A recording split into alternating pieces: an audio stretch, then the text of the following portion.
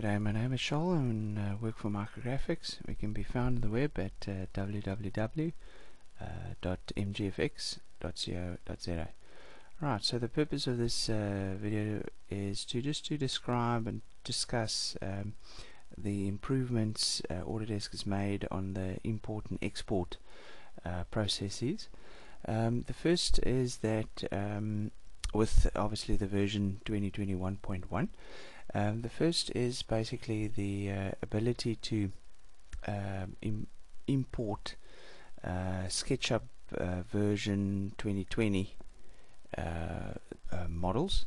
Um, so to do that, uh, you basically would go insert, import CAD, um, and just simply select the SketchUp option at the at the bottom to import the SketchUp. Now we could have done SketchUp imports um, before uh, it's just the version 2020 that they've now added um, which is the latest version of, of SketchUp and uh, um, the the workflow from SketchUp to Revit uh, is improved uh, in, in that manner.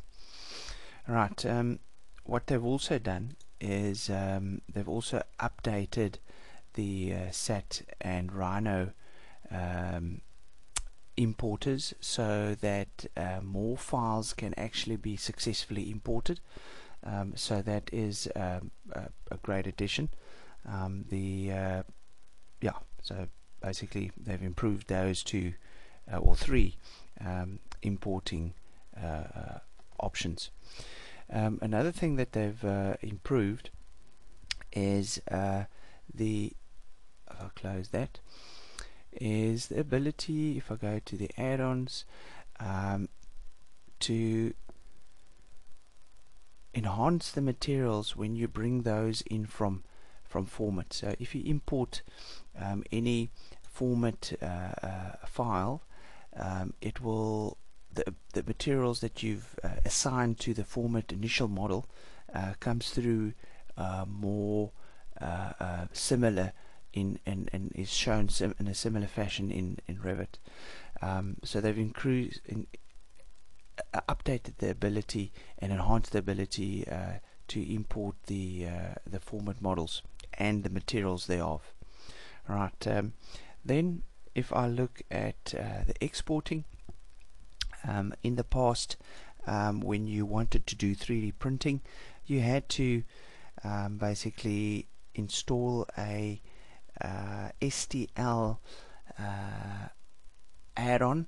Um, uh, this add-on is now part of the installation of 2021 and um, if you just uh, open that up um, it basically just asks you what format you want to um, export to um, obviously if you want to learn more about uh, the options that you have here, the resolution, uh, you can just select on the uh, settings tab.